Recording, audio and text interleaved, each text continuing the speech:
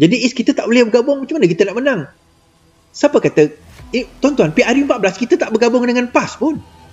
Ingat tak masa PRU uh, uh, masa Pakatan Rakyat kita berpecah dengan PAS tahun 2015 tau. Kita berpecah dengan PAS tahun 2015. Masa tu ada tiga penjuru. PAS, BN dengan Pakatan Harapan. Menggunakan logo PIKA. Kenapa kita boleh menang? Dia ada banyak dana is. Masa tu, saya cerita. Najib ada balance 119 juta dekat rumah dia. Dana pilihan raya. Balance. Kalau balance 119 juta, belanjanya berapa? Pun PRU 14 kalah. So, formulanya apa? Bukan tanya formulanya apa, tuan-tuan. Kita tanya siapa dia punya pengukir formula tu. Kalau bukan Rafizi Ramli. Kalau bukan Rafizi Ramli, siapa pengukir dia? So kita kena tanya Rafizi lah apa formulanya. Tapi kadang-kadang tuan-tuan, saya nak bagi tahu satu perkara lah. Kita boleh tanya resepi kepada tukang masak. Tapi still kita tak boleh masak sesedap tukang masak tu. Kita boleh dapat 100% resepi daripada tukang masak. Tapi belum tentu kita boleh masak sesedap tukang masak tu. Kenapa tuan-tuan? Dia bukan setakat nak tahu formula. Kita mesti ada pengalaman mengadun formula tu. Dan saya tak nampak eh, orang dalam parti ni, dalam parti PKR ni, yang ada boleh mengadun formula walaupun formula tu di depan mata. Jangan kata mengadun formula, nak mengadun pun tak mengadun. Kalau ada depan mata pun belum tentu dia faham formula tu apa. Oh, kena aku juga pada ni.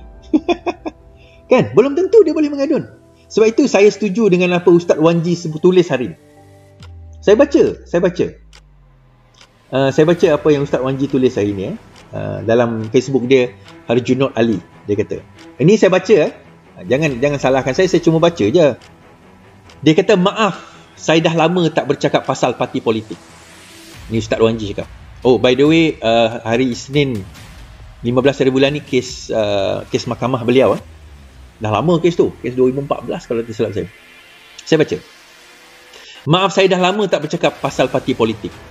Hari ini, sempena kekalahan PH dalam PRN Johor, saya nak tulis serba sedikit apa yang saya fikir berkenaan parti saya, PKR.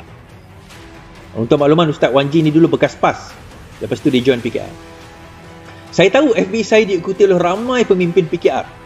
Bahkan ada apa yang saya tulis ini dihantar kepada pihak atasan parti.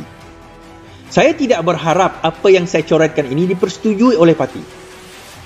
Oleh parti saya dan sesiapa pun membacanya.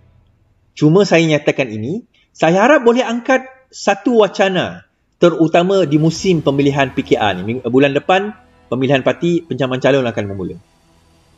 Antara perkara yang saya fikir tentang parti saya sekarang adalah kita tidak mahu fikir untuk nak bagi ada nilai tambah pada parti ini. Added value.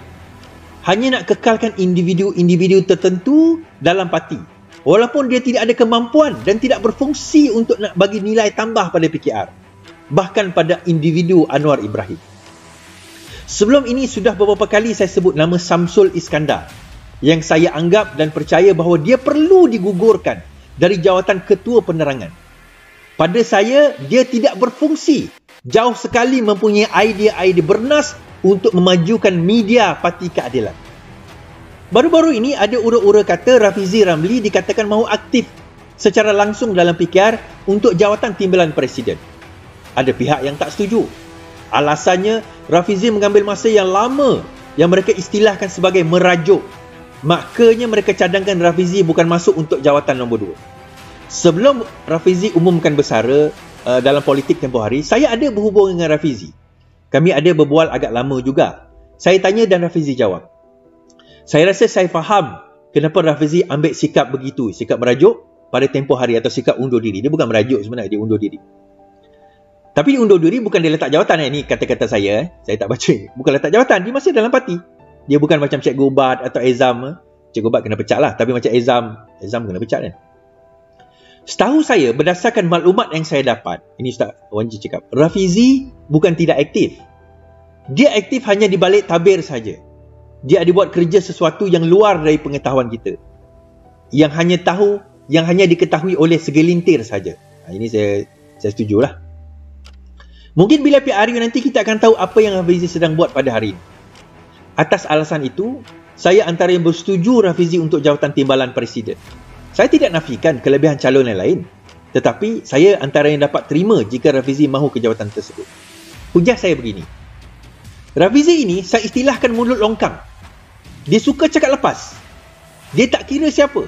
Baik kau Tun ke, kau Anwar, kau siapa pun dia cakap lepas dia. Cuma kita kena tahu satu perkara. Rafizi cakap lepas bukan kosong. Ha? Dia cakap lepas itu berasaskan kepada kesimpulan yang dia buat berdasarkan dapatan dan kajian yang dia buat. Sama ada kesimpulan itu betul atau salah, kita setuju atau tidak, itu kita tolak tepi dulu. Itu perlu dibahas secara partikular. Pada saya, orang macam Rafizi dapat mengimbangi keputusan Anwar yang mempunyai karakter sukar untuk menolak individu tertentu yang tidak berfungsi dengan baik yang berada di sekelilingnya. Contoh saya mudah, Samsul Iskandar. Ini ini Ustaz Wanji tulis bukan saya sebut eh. Sebab itu saya meletakkan satu hipotesis. Saya tidak namakan tesis lagi kerana saya percaya ia perlu kepada fakta dan maklumat tambahan. Kalau Rafizi duduk dalam jawatan timbalan presiden, baru PKR relevan balik nak bercakap Anwar Ibrahim sebagai calon Perdana Menteri. Untuk masa sekarang, saya berpendapat bahawa ungkapan itu tidak lagi relevan iaitu Anwar nak jadi PM. Selagi tak ada ke ke apa ini jawapan saya ini saya ulas eh. Selagi tidak ada rombakan di dalam pimpinan parti yang Ustaz Wanji sebut tadi Samsul Iskandar je itu baru seorang. Dia ada beberapa nama yang lain. Ada yang tanya kat saya siapa nama tu Is? Dedahkanlah no no no no. Sabar. Bukan sekarang. Bukan sekarang. Ha, bukan sekarang. No, now is not the right time. Nantilah nanti sebab itu saya kata rombakan itu akan berlaku dan akan ada pengumuman penting tidak lama lagi jangan risau But my point is this tuan-tuan. Saya saya nak buat analisa. Mana analisanya is? Kau kata nak buat analisa. Analisa ni semua orang dah buat analisa. Analisa semua orang dah buat kata ini, itu. Uh, dia kata BN ni tak dapat majority. It doesn't matter. Yang penting BN menang 2 per 3. Itu je. That's what's important. Dia majority ni tak penting. Yang penting menang 2 per 3. So, hujah saya, uh, hujah yang mengatakan bahawa pembangkang berpecah, therefore, kita kena bergabung dengan pembangkang. Itu hujah yang dangkal. Saya kata memang hujah pembangkang itu pecah, banyak pecahannya. Dan memang akan berlaku banyak pecahan sebab itu zaman dulu orang banyak parti bebas. Kat Sabah Sarawak parti yang yang pelik-pelik ni banyak. Tujuan dia untuk memecahkan undi parti pembangkang. Banyak dia orang ditaja oleh BN pun. Kita pun tahu benda tu. Persoalan utamanya bukan pembangkang. Kita bergabung pun dia akan wujudkan pembangkang lain. Berpecah lagi. Soalan utamanya bagaimana Pakatan Harapan, Parti Keadilan nak mewujudkan kekuatan dia sendiri. Ini pemilihan uh, DAP tak lama lagi ni. Amanah tangguh hari itu. Nak membina kekuatan dia sendiri. Sedangkan nak sebab apa saya kata tak ada dia tak ada izah. Dia tak ada izah bukan Nurul Izah, dia tak ada izah, dia tak ada tak ada izah tu apa? Izah, bukan izah. Dia tak ada rasa, dia tak ada karisma. Di karisma ni macam mana tuan-tuan eh? kalau kita bercakap tentang hmm, tentang contohlah bila saya cakap tentang tuan-tuan eh?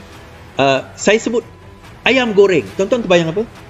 Terbayang KFC kalau saya sebut burger tuan-tuan terbayang apa? Terbayang McDonald. Mungkin lah mungkin. Mungkin terbayang ramli burger. But doesn't matter. Dia ada dia punya um, apa nama logo dia ada dia punya nama dia ada dia punya what do you call that? Dia punya yalah kebanggaan dia sendiri.